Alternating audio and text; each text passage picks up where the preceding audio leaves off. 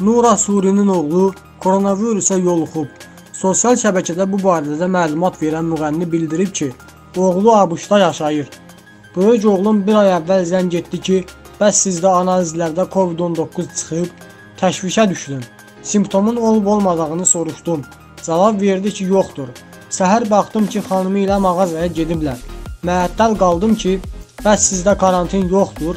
Dedi ki, 10 gün əvvəl analiz vermişik. Cavab indi gəlib. Əgər bu vaxt ərzində simptom olmayıbsa, evdən maska ilə çıxa bilərsən.